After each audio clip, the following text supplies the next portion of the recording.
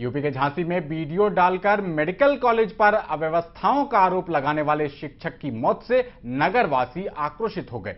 मामला मऊरानीपुर का है, जहाँ नगरवासियों और शिक्षक की सहकर्मी ने उप जिलाधिकारी कार्यालय पर इकट्ठा होकर मेडिकल कॉलेज प्रशासन के खिलाफ ज्ञापन दिया और लापरवाही के लिए जिम्मेदार कर्मचारियों पर कार्रवाई करने की मांग की।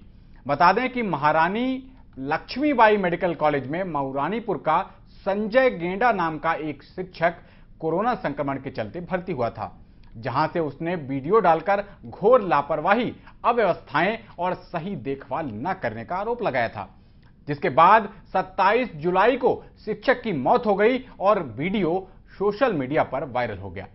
और नगरवासी आक्रोशित हो उठे, जिसके बाद नगरवासियों ने उप जिलाधिकारी को ज्ञापन देकर कई मांगे रखी हैं। मैं संबंधित टीचर के विद्यालय में ही अध्यापन कार्य करती हूँ। हमारी टीचर के साथ जो दुर्घटना हुई है दुखद घटना जो कि बहुत ही हृदय विदारक है और हम लोग बहुत ही उससे दुखित हैं। वो घटना सर के साथ जो हुई वो लापरवाही के कारण हुई। अगर उनकी सही देखभाल वहाँ की ट्रीटमेंट मेडिकल को उनको मिल जाता तो शायद उनके साथ ये घटना ना होती। सर बार बार घटना हुई आपके साथ घटना ये हुई है कि उनको वहाँ क्वारंटाइन किया गया। पर उनको वहाँ पर सही जो इलाज मिलना चाहिए, मरीज़ को वो नहीं दिया गया। जिसकी वजह से उनको आज ये हमारे साथ वो नहीं है, हमारे बीच में नहीं है। कार्रवाई की जाए और जो घटना घटी है, वो अन्य किसी और के साथ ना घटे।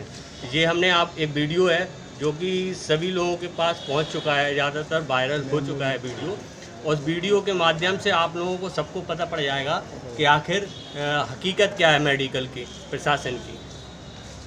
तो आप लोग क्या चाहते हैं सरकार की तरफ़ से? हम सरकार की तरफ़ से ये चाहते हैं कि जिन लोगों ने इसमें लापरवाही की है, उनके खिलाफ सख्त से सख्त कार्रवाई हो।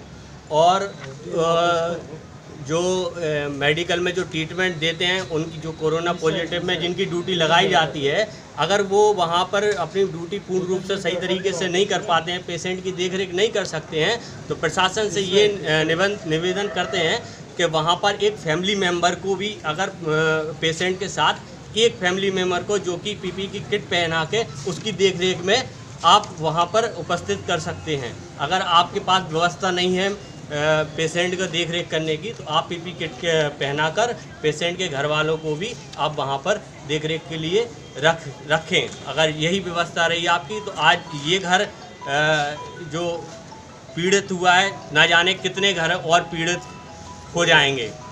सौ फ़ीसदी प्लेसमेंट के साथ हम देंगे आपको मौका। Live 24 media institute admission open registration के लिए कॉल करें। Nine five six zero four six four one seven zero